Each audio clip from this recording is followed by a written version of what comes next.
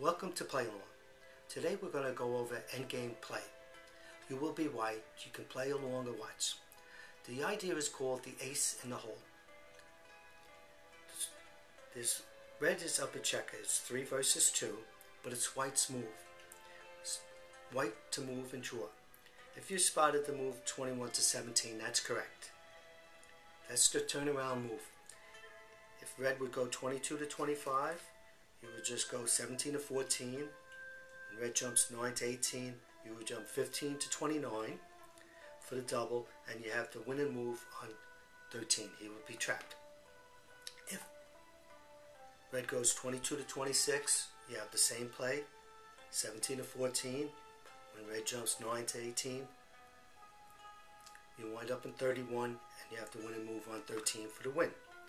So the best reply in the basic position now for red is 9 to 14, you jump 17 to 10, and you have the draw.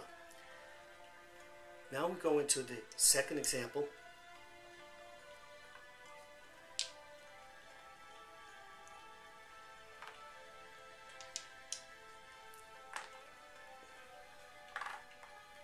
It's white to move and draw 3 versus 3.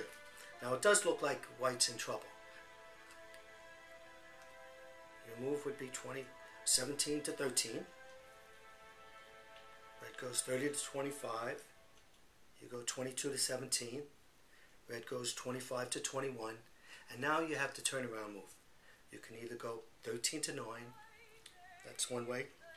We're going to show you this way where you go 3 to 7. Red jumps 21 to 14. And then you go 13 to 9 for the turnaround move. Now if red goes 14 to 17, you would just go 9 to 6, 1 to 10, 7 to 21 for the double and the win.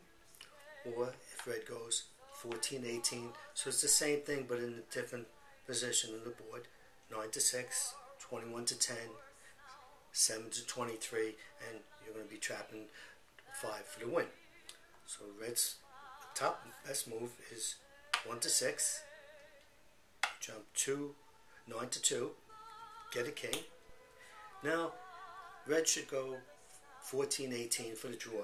Let's say he goes 5 to 9, you would just go 7 to 10. When he jumps, you jump for the win. The third example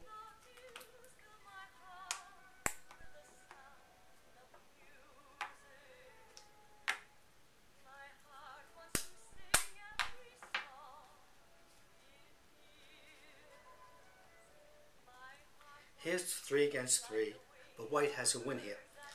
The weakness of 5 and 13, white's going to use that to his advantage.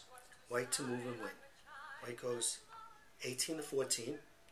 Now red cannot go 22 to 17, because if you would go 15 to 10, and then when red goes 22 to 17, 17 to 22, you go 14 to 9, red jumps 5 to 14, and you would jump 2 for the win. So we'll put the checker back. So red goes 22 to 25.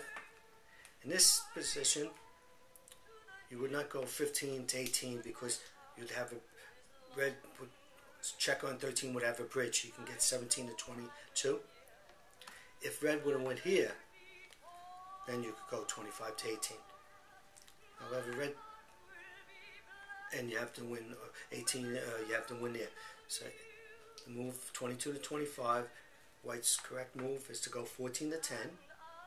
Red goes 25 to 22. And you see this in the in the end games. This is like a seesaw move. Red made. Go 10 to 6. Uh, red tries to escape with uh, 5 to 9. Go 21 to 17. The uh, good move. And now red cannot go 22 to 25 because the same 2 for 1. 17 to 14. 9 to 18, 15 to 29. Or the same thing if he goes here, the same. For the win. So now red's best move in this in that position is 9 to 14. Jump 17 to 10. You're up a check and you have a win. Take a few moves, but you have a win from here. Now, say for example, red goes 13 to 17. Then you would go 15, 18, Red jumps 22 to 15. You go 6 to 1, get a king. Red goes 15 to 6. You jump 1 to 10, and you're going to trap the red checker for the win. One move can make a difference. Find the right move and become a better player. Thank you for watching this video.